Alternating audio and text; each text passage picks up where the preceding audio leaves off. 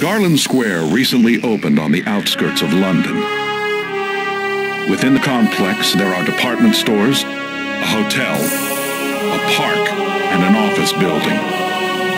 It's a complete urban complex. However, the complex has been taken over by a terrorist group called the URDA,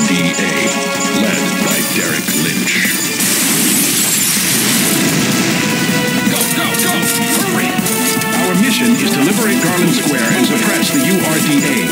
This is a dangerous operation. So keep your guard up at all times. Roger.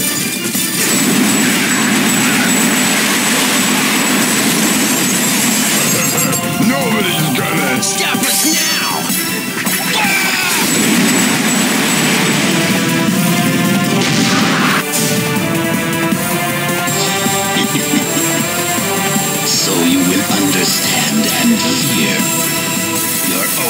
foolish mistakes. Time crisis. Crisis zone.